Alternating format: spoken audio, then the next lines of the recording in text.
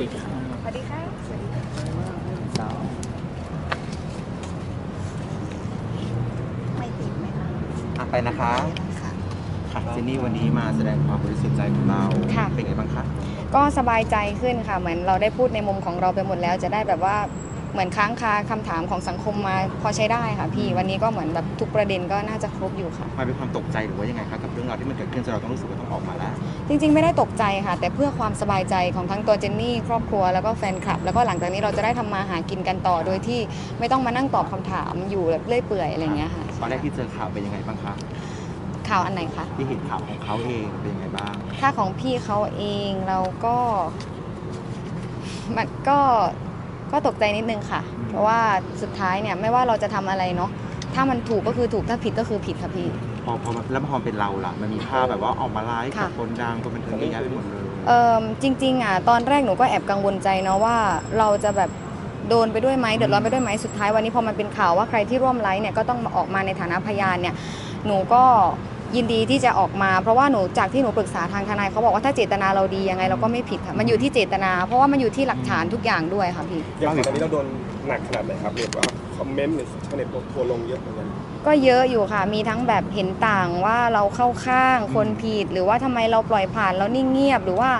ทุกวันนี้เหมือนสิ่งที่เราทำเนี่ยเหมือนกันหรือเปล่าอะไรอย่างเงี้ยค่ะเราก็พยายามที่จะเงียบค่ะวันนี้วันนี้คือเป็นวันแรกที่ออกมาพูด จริงๆอะก็แบบตั้งใจว่าจะจะพอแล้วแต่ว่าเมื่อกี้พี่หนุ่มก็บอกว่าพูดได้เลยกับพี่ๆสื่อข่าวก็ยินดี เจนเล่าให้ฟังอีกครั้งได้ไหมว่าแบบเราไปรู้จักกับเขาได้ยังไงคะ ก็พี่เขาจ้างงานเราไปไลฟ์สดค่ะขายสินค้าต่างๆค่ะ แล้วก็ในส่วนของร้านทองก็มี 2 ครั้ง แต่ในส่วนของร้านทองที่เจนนี่ไปไลฟ์เนี่ยยังไม่ได้มีตัวสินค้าที่เป็นข่าวที่มีผู้เสียหายค่ะ ใช่ ตอนที่เราเขาจ้างเราเรามีการเช็คไหมคะว่าความน่าเชื่อถือของเขามันเป็นแบบไหน หนูไปไลฟ์โปรโมทสินค้า ซึ่งโปรโมทสินค้ามันไม่ได้น่ากลัวอยู่แล้ว มันก็ขายของขายสินค้าทั่วไปเนาะแล้วก็พออยู่ๆวันหนึ่งพี่เขาก็บอกว่าเนี่ยช่วยมาไลฟ์ร้านทองเราก็เชื่อใจ เพราะว่ามันมีหน้าร้านทองอยู่จริง ๆ แล้วก็เราก็ไม่ได้คิดอะไรเยอะแล้วก็เหมือนบุคคลทั่วไปค่ะหนูก็รู้จักพี่เขาเหมือนที่ทุกคนรู้จักเลย สิ่งที่เขาให้พูดหรือว่า dialogue ที่เขาแบบ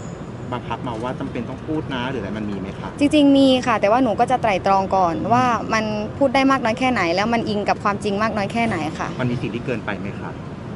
นิดหน่อยค่ะ นิดหน่อยเกี่ยวกับเรื่องของการรีวิวในบางครั้ง หรือว่าเรื่องของคอนเทนต์ในบางครั้งค่ะเราก็ save save แล้วก็พยายามที่จะไม่เป็นไม่เป็นศัตรูกับใคร ทั้งตัวที่แบบพี่เขาให้พูดหรือว่าทั้งกับผู้บริโภคอะไรอย่างเงี้ยค่ะเราพยายามแบบไตร่ตรองแล้วก็ใช้สติในการทำงานค่ะกับทองเองไปไลฟ์กี่ครั้งนะคะสองครั้งโดยประมาณค่ะอ๋อ เป็นยังไงบ้างคะตอนที่ไปไลฟ์เราเห็นแบบกระแสไหมเขาว่าอุ้ยขายดีมากเลยใครก็เชื่อใช่ค่ะ ตอนนั้นที่ไปไลฟ์ร้านทองก็ยอมรับว่าขายดี แล้วก็เหมือนพี่เขาจัดโปรมีโค้ดส่วนลดอะไรอย่างเงี้ยค่ะเราก็โอเค แต่ว่าในไลฟ์ของหนูที่ไปไลฟ์ค่ะ มันไม่ได้มีตัวที่เป็นราคาแพงจนเกินเหตุอะไรอย่างเงี้ยค่ะ เราก็เลยไม่ได้เอะใจใช่ค่ะมันมีโปรที่จัดมาขึ้นเพื่อเจนไหมครับแบบเจนนี่มาไลฟ์เราจัดนี้ให้เลยมีอยู่ค่ะมีแล้วเป็นยังไงบ้างอะกับกับโปรนั้นก็ เนี่ยเหมือนยังไม่ได้มีใครออกมาพูดว่าได้รับความเสียหายนะคะ ก็จะเป็นปีเสียเส้นเล็กอะไรอย่างเงี้ยค่ะเพราะตัวเราเองเราก็เชื่อเชื่อถือของปีเสีย แล้วพี่เขาก็มีการยืนยันว่า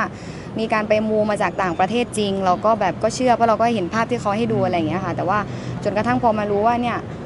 เหมือนการตลาดหรือว่าเทคนิคการขายต่างๆเนี่ยมันเริ่มแบบเข้าขายผิดกฎหมายอะไรเงี้ยเราก็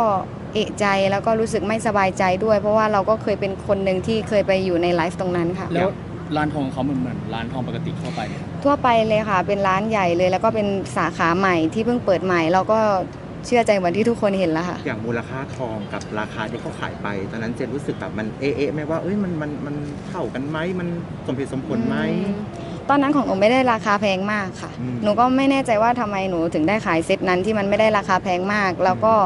เหมือนตัวค่ากำเนิดอะไรเงี้ยก็รู้สึกว่าถูกลงจริงๆ เพราะว่าถ้าซื้อวันนั้นกับเจนนี่มันก็จะมีเหมือนโค้ดคูปองต่างๆ อะไรเงี้ยค่ะเข้ามา ถ้ามองภายนอกของเขาหน้าหน้าหน้าซื้อไหมถ้าวันนั้นก็น่าซื้อเพราะว่าหนูก็เอากลับบ้านเหมือนกันหรอใช่ค่ะ ถ้าถ้าณวันนั้น คือคือเขาให้หรือว่าเจนเอากลับซื้อเอ่อเองหนูบอกว่าหนูอะนับถือมากเลยปีเสีย เพราะว่ามันเป็นอ่า ของโมที่เก็บเงินแล้วมันไม่รั่วไหล เพราะว่าไม่มีไม่มีทวารอะไรอย่างเงี้ยเราก็เชื่อใช่ไหมคะเราก็แบบก็เอากลับบ้าน แล้วตอนนี้คือยังเก็บไว้อยู่ไหมครับก็ยังมีค่ะหรอ เช็คไหมคะจางไปเช็คไหมอืมไม่เช็คดีกว่าค่ะ ปล่อยผ่านแล้วเพราะว่าตอนนี้เราก็เหมือนได้บทเรียนแล้วก็ได้เรียนรู้ ใช่ค่ะตอนที่เก็บเก็บไว้ดีไหมครับปีเสียตอนนั้นก็เก็บไว้ดีค่ะ เพราะว่าของมูต้องเก็บไว้ดีๆเขาอ่ามั มันถึงจะปังอะไรอย่างเงี้ยค่ะ แล้วตอนนี้ยังจะเก็บรักษาไว้แบบเดิมไหมคะก็เก็บไว้ที่เดิมก่อนค่ะในกรณีคือชาวเน็ตบางคนก็จะมองว่าเฮ้ยเราเป็นพวกเดียวกันอะไรเงี้ยคนเขาจะมองไปอย่างนั้นอ่าจริงๆเจนนี่บอกทุกคนตลอดว่าต่อให้เราเกิดที่เดียวกันเป็นพี่น้องกันนามสกุลเดียวกันนิสัยคนเราย่อมไม่เหมือนกันอ่าและต่อให้เราจะ แสดงออกมาแบบไหนหนูเชื่อว่าสังคมไทย แล้วก็เรื่องของระยะเวลามันบอกเสมอ ถ้าใครทำดีก็ต้องได้ดีใครทำชั่ววันหนึ่งก็ต้องเปิดวงเป็นเชื่อว่าสิ่งที่ลูกค้าเขาซื้อไปอะเป็นเพราะว่าเขาเชื่อเจนด้วยไหมว่าแบบเพราะความเชื่อใจนี่คือสิ่งที่หนูรู้สึกผิดและเสียใจมากๆ จึงรีบมาวันนี้เพราะหนูรู้สึกว่าอย่างน้อยหนูก็เป็นส่วนหนึ่งนะที่เหมือนทำให้ FC ของเราบางส่วนที่ได้รับความเสียหายมารู้จักอะไรอย่างเงี้ยค่ะก็รู้สึกเสียใจมากๆ แล้วก็อยากจะตอบแทนแล้วก็อยากจะทำงานตรงนี้ให้บริสุทธิ์ไม่เอา อะไรที่มันผิดพลาดมาเป็นเยี่ยงอย่างในการใช้ชีวิตนะคะจะขอโทษไหมคะเจนจะขอโทษแบบแฟนๆไหมที่อ่าที่ขอโทษแฟนๆด้วยค่ะ ที่ก่อนหน้านี้อาจจะไม่ได้ไตร่ตรองเรื่องของการรับงาน เพราะว่าเราเองก็เชื่อใจเหมือนที่ทุกคนเห็นเราก็เชื่อใจเหมือนเราก็เห็นภาพอย่างที่ทุกคนเห็นเราก็ไม่ได้มีข้อสงสัย แต่พอวันนี้มันเกิดเรื่องเหตุการณ์แบบนี้สิ่งหนึ่งที่หนูจะทำเลยคือต่อไปในเรื่องของการรับงานหนูจะมีฝ่ายกฎหมายในการที่จะคัดกรองว่าใครที่จะร่วมไลฟ์กับเราคือหนึ่งต้อง ไม่มีเกี่ยวกับเรื่องของคดีความติดตัวสองจะต้องไม่มีการไลฟ์ที่แจกสินค้าที่ไม่ชัดเจน การขายทองที่รู้สึกว่าราคา over เกินจริง หรือว่า